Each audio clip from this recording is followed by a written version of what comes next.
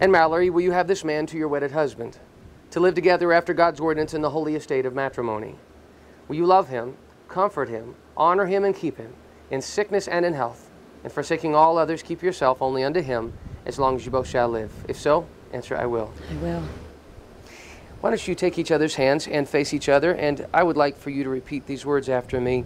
Starting with you, Ian, say, I, Ian, I, Ian, take you, Mallory, take you, Mallory, to my wedded wife, to my wedded wife, to have and to hold, to have and hold, from this day forward, from this day forward, for better, for worse, for better, for worse, for richer, for poorer, for richer, for poorer. in sickness and in health, in sickness and in health, and to love and cherish, and to love and cherish, until death do us part. until death do us part.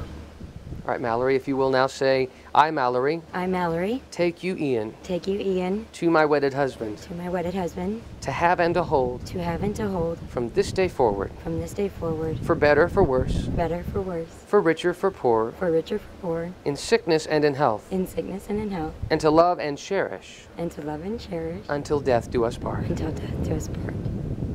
If you will now hand me the rings.